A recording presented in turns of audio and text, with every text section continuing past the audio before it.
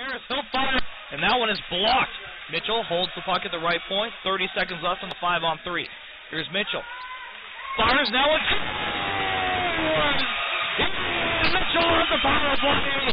Two one Spruce Grove. Well, a great power play there for the Spruce Grove Saints, finished off by Ian Mitchell putting the puck in the net. Good screen in for the power play. Mitchell to Harris, back to Mitchell at the top of the point. Mitchell side of the net here for.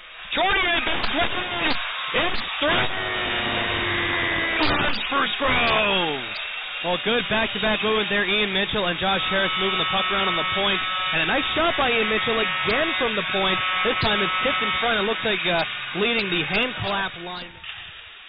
Back to Thomas, over to Mitchell. 38 seconds left in the period. Long shot in for Mitchell. He scores! Deflected down, possibly. Screen provided by LeBon. Either way, it's 4 2 Spruce Grove. Kind of on a broken play there as Ian Mitchell picked the puck. Ever? It was a very